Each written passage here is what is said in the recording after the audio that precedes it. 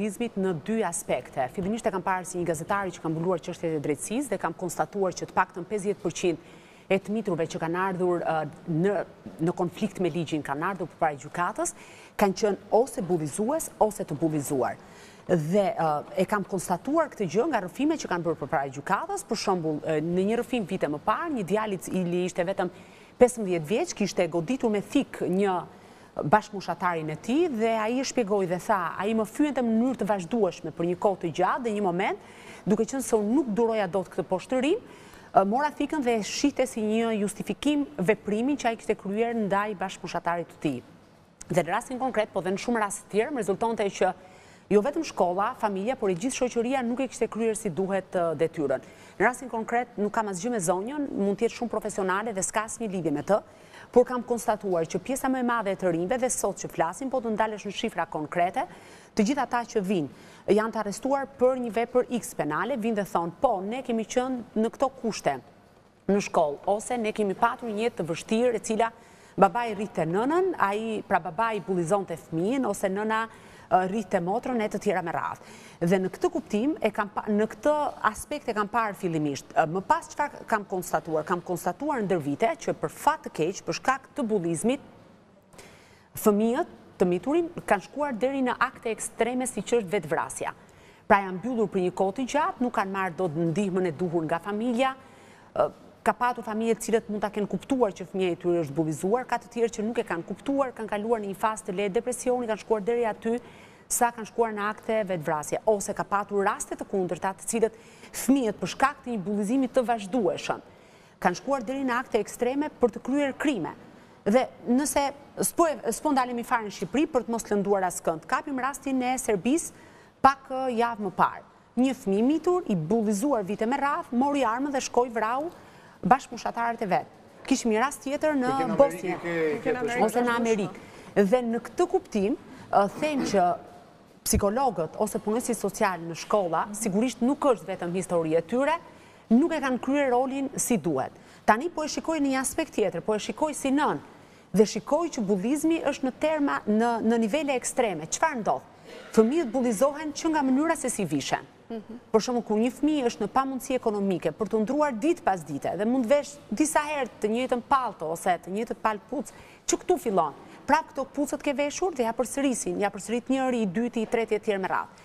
ose për paraqitjen e tyre fizike, ose për mënyrën se si flasin. Pra ka fëmijë që mund të mos i shqiptojnë të gjitha gërmat, ndodh dhe kjo është normale tek fëmijët.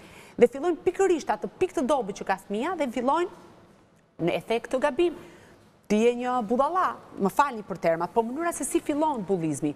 Dhe fillon dhe përshkallëzohet, fillimisht fillon me terma fyes, më pas shkon deri tek aktet e dhunës e tjera me radhë. Ose për shembull nëse një fëmijë ka një problematikë në familje, Për shembull, nëse njëri nga një prind mund të jetë i arrestuar ose është përfshirë në një ngjarje. Ose familje e divorcuar. Ose familje të divorcuara. Dhe pikërisht këtë problematikë që kanë, fillojnë edhe ja përsërisin ditë pas dite. Për shembull, në momentin kur unë dal në ekran, ta nisim tek vajza ime, e cila është në prag adoleshence. Në momentin që unë dal në ekran dhe bëj një debat, të nesërmen ajo shkon dhe shokët dhe shoqet i thonë në klasë, mami jot bëri debat mbrëmë. Dhe e shikoj që herë pas here e vuan këtë pjesë. Po thellë thellë çfarë është kjo, është një formë e lehtë e bullizmit dhe prandaj prindi duhet të jetë koherent gjatë gjithë ditës, gjatë gjithë kohës të vërejë të gjitha ndryshimet e humorit tek fëmija. Nuk po them të sjelljes, se kur shkon te sjellja, praktikisht ka ka diçka më tej. Dhe për fat mirë ne nuk kemi patur ngjarje kaq të rënda siç ka ndodhur në botë që një fëmijë merr armën dhe shkon dhe kryen masakër. Por ama di një rast para pak ditësh, Një vajzë e bullizuar shkoi në klasë me thikë! Me thikë, në një nga shkollat nëntëvjeçare të Tiranës, shkoi në klasë me thikë. Pse? Për t'u hakmarrë ndaj vajzave të tjera të cilat e kishin bullizuar.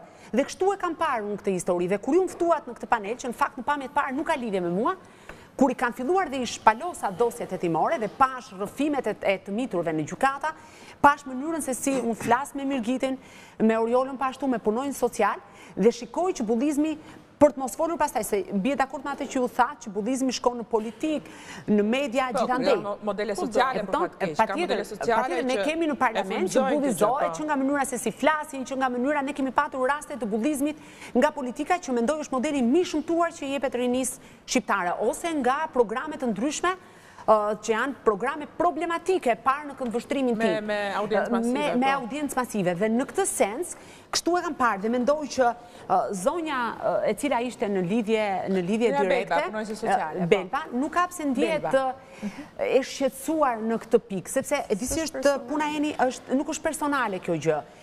Ne duhet të jemi shumë të kujdesshëm.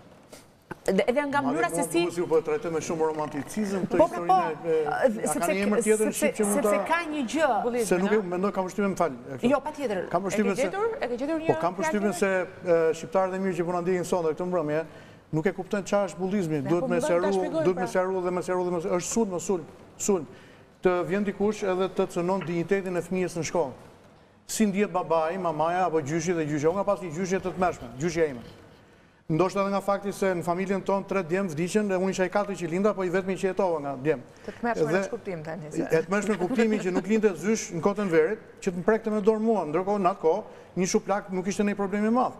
Apo vinte dhe interesohej dhe ishte gjithë kohës e pranishme gjyshja ime, se prindërit i kishim punë neve në atë kohë. Gjithë kohës në pushim të madh vinte më sillte ushqimin me vete. Edhe më ushqente aty në sy të gjithëve. Unë ndihesha në sy të gjithë fëmijëve të tjerë i turpëruar dhe ndihesha i intimiduar nga vështrimet e